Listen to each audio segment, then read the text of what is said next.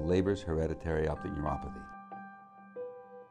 Imagine most patients are about 20 year old, are living the top of their lives, everything seems to be going well, who without any expectation suddenly go blind in one eye, and then a month later go blind in the other eye.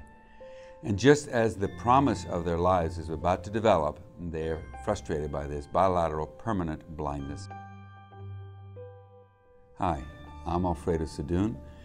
I'm a professor here at Doheny Eye Institute uh, at UCLA. And my area is neuro-ophthalmology, for which I see patients. But really, my area is to understand a certain class of diseases. And the most fascinating of these diseases is something called Leber's hereditary optic neuropathy. Every year, I lead a team that might vary from 20 to 45 people who are the world's experts on this disease, and we all go in a rural area of Brazil and re-examine the very same patients using the most sophisticated and extensive technologies.